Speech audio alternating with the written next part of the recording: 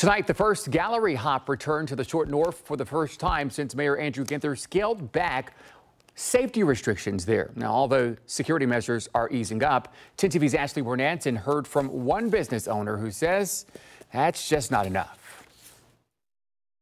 Andrew, good evening. Tonight, some members of the Short North community tell me it feels like things are getting back to normal. However, a local business owner tells me the restrictions that remain are destroying the local economy.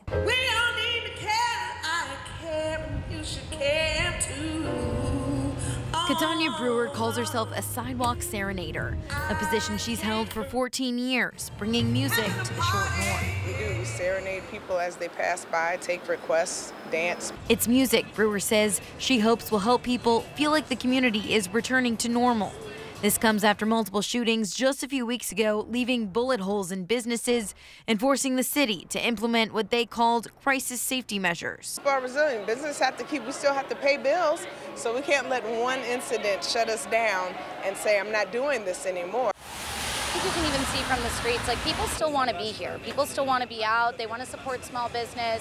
They want to support local artists. Meanwhile, restaurant owner Shawn Shahnazi says a major concern is the confusion surrounding the parking restrictions. There's still no parking permitted on the northbound side of High Street between Goodale Street and Fifth Avenue past 10 p.m.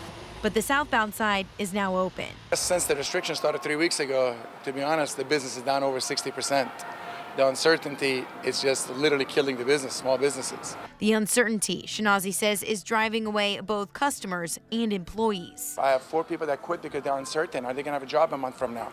If this thing continues, how are they going to pay their bills next month? Shahnazi says he's fed up with his customers' cars being ticketed or towed. This is extremely urgent. This is people's livelihood. I have 35 employees. This is their livelihood. This is my livelihood. This is my $2.5 million investment. Shahnazi tells me he'd like the city to assure residents that the Short North is safe, to drop the parking restrictions and instead increase policing after midnight. Mayor Ginther says the restrictions will remain until further notice. For 10 TV News, I'm Ashley Bornancin. Ashley.